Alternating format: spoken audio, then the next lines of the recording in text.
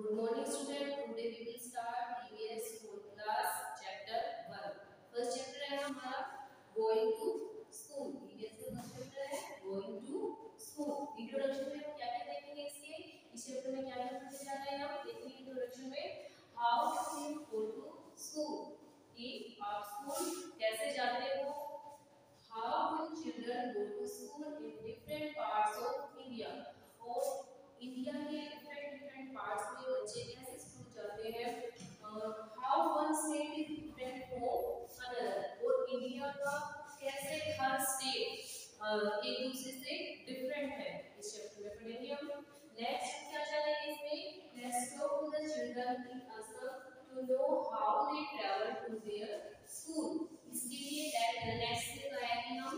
असम के बच्चों से बात करेंगे और पूछेंगे कि आप स्कूल कैसे जाते हैं। इसके लिए क्या करना पड़ेगा।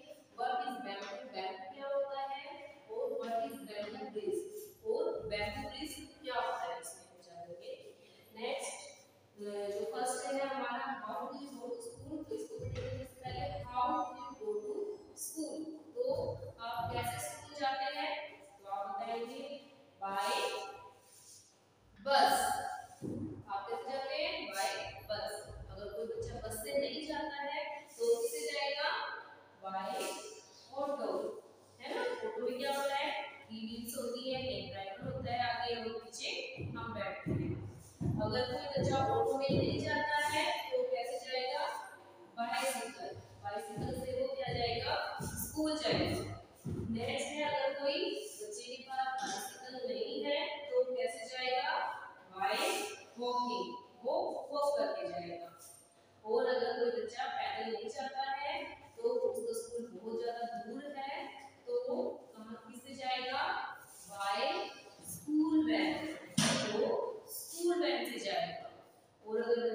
跟自己的一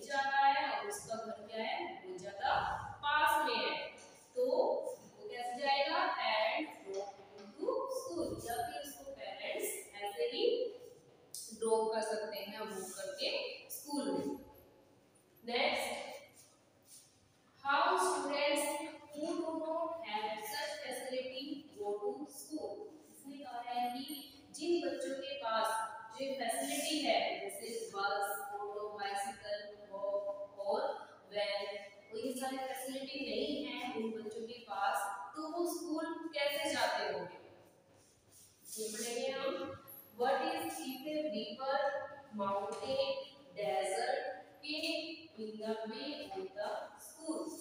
और अगर आपके घर और स्कूल के बीच में क्या हो बड़ी रिवर हो तो आप रिवर को कैसे क्रॉस करोगे? और अगर माउंटेन हो तो माउंटेन को आप कैसे क्रॉस करके जाओगे? स्कूल और या फिर कोई डेजर्ट हो। डेजर्ट क्या होता है? रेगिस्तान तो क्या होता है? ओनली सैंड सैंड होती है। तो कहाँ पे सबसे ज़्यादा सैंड राजस्थान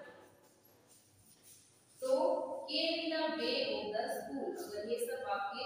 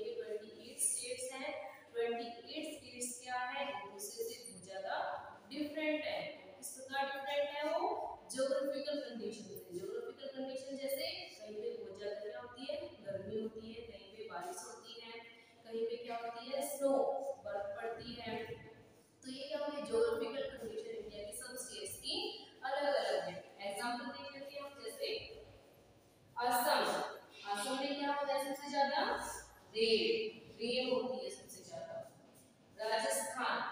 राजस्थान में सबसे ज़्यादा क्या है? डेजर्ट और नेक्स्ट है जम्मू कश्मीर। जम्मू कश्मीर